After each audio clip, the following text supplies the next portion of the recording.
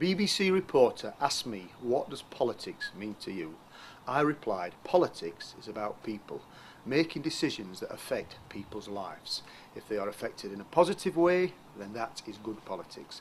If they are affected in a negative way, then that is bad politics. I am all about good politics. The European Union is the epitome of bad politics. The EU in reality is a Napoleonic blueprint. It's aimed to come under one flag, totalitarian control of its member states, all of us. The EU wants our sovereignty, democracy, currency, with that our economy. The euro is the dodo.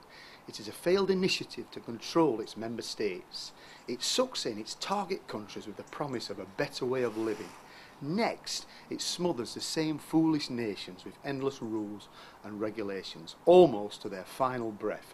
The cost of this madness is £385 million a week to Great Britain. There are only two political parties in this country, UKIP and the rest. You, the people, have the power. You decide who governs. Help us to help you. Vote UKIP in May.